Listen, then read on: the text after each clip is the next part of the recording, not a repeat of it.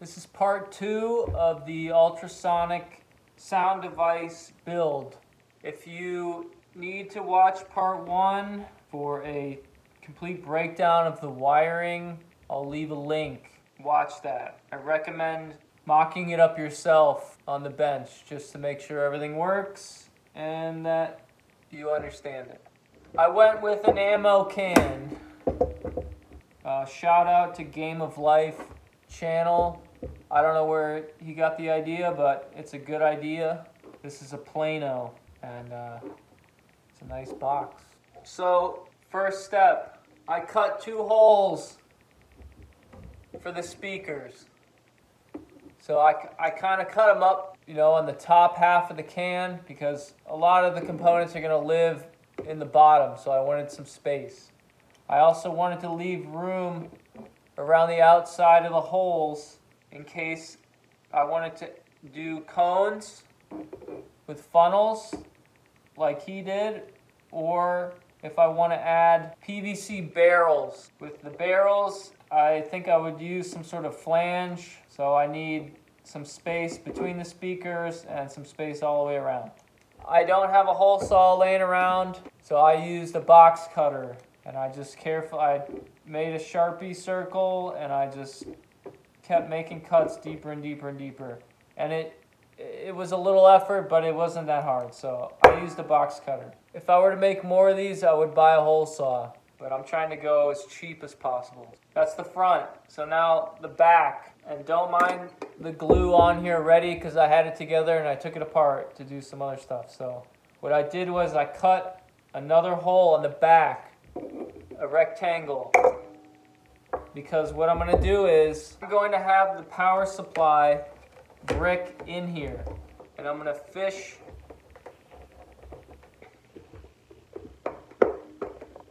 the plug head through the box. So when everything is closed up and sealed up, I'm gonna seal around this, this uh, cord here. I'm just gonna have the plug hanging out of the box. We're gonna go to my friend's house and we're gonna pick a spot, point it at this neighbor's dog, and what we're gonna do is we're gonna take an extension cord, we're gonna have the female end plugged into this, we're gonna waterproof it, saran wrap and electrical tape or something. And it's gonna be permanently plugged into this. And all the way at the other end of the extension cord, you'll have the male end. And so every time he wants to turn this on, he has to just run over it and plug in the extension cord. And it should kick on. So that's the setup we're gonna have. Two holes in the front for the speakers. One hole in the back for the plug. I forgot to mention we're going to use all the same tools and parts as the first video except for the addition of a soldering iron, paste flux, solder, hot glue gun. Okay, so what I'm to do is I've already had this mocked up so I know where I want some things. So the brick is to be on the bottom. I'm to use some hot glue. I'm to tack I'm just to use a couple tiny dabs and I'm to tack down the brick to the bottom of the ammo can. And I'm to have it sort of cocked in the bottom like that. And I'm to have the most cord coming out the back that I can. Okay, hot glue gun. So you don't need much. It doesn't take much. This stuff's pretty strong, so I'm just to take... I already have some little dabs here, just, you know, three points of contact. I'm just gonna stick that down. Okay, and just to mock this up, so I know how this is gonna go, what I do is I put the Kemo,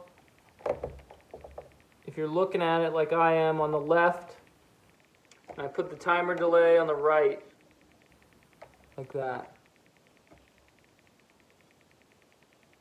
And I'm going to wire it up, so I'm not going to do this now, but after I'm finished wiring, these will also get stuck down to the brick of the power supply with just two tiny dabs of hot glue. The next thing I'm going to do is I'm going to solder the leads onto the speakers first, outside of the box.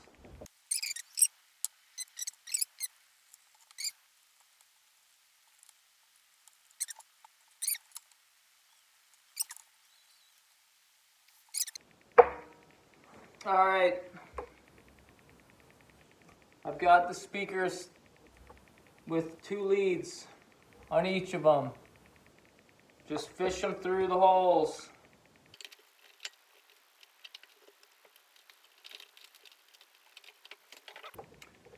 And I'm just gonna dab them into place.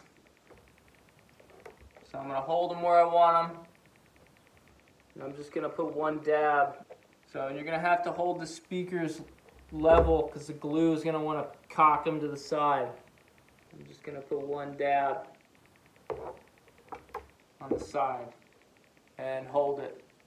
All right, I'm gonna do the same with the other one.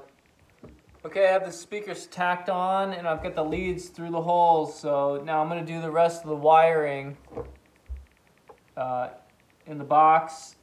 And I'm not gonna show every step of the wiring. If you need to see the wiring, go to the first video. So, be back. Okay, everything is wired up. And the last thing I'm gonna do is I'm gonna tack the delay timer and the Kemo down to the, the brick of the power supply. I'm just gonna put two tiny dabs of hot glue. I'm gonna stick those down on top. And then I'm gonna finish hot gluing all the way around the speakers. And I'm gonna do that now. Okay, the last thing I'm gonna do. Okay, when you cut the circles out for the speakers, you're left with two discs of plastic.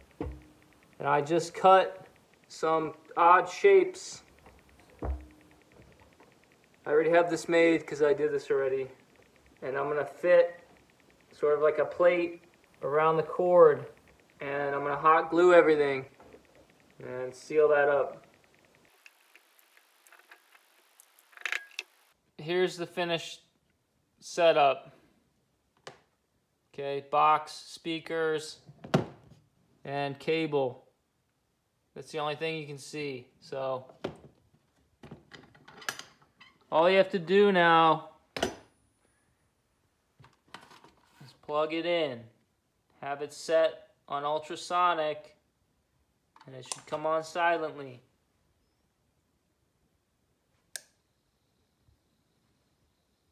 There you go. So that way, everything's in the box, so that way you still have access to the brass screw for the delay timing timer duration, and your 1 through 10 on the generator. Here's it turned down to 3.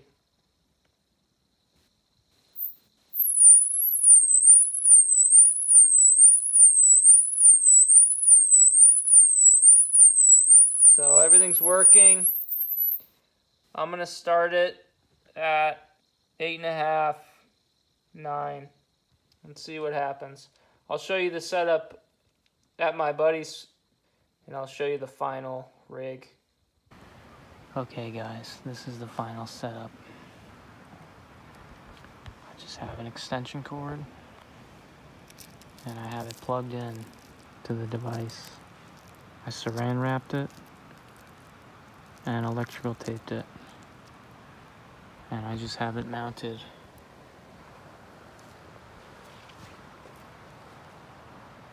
on a post.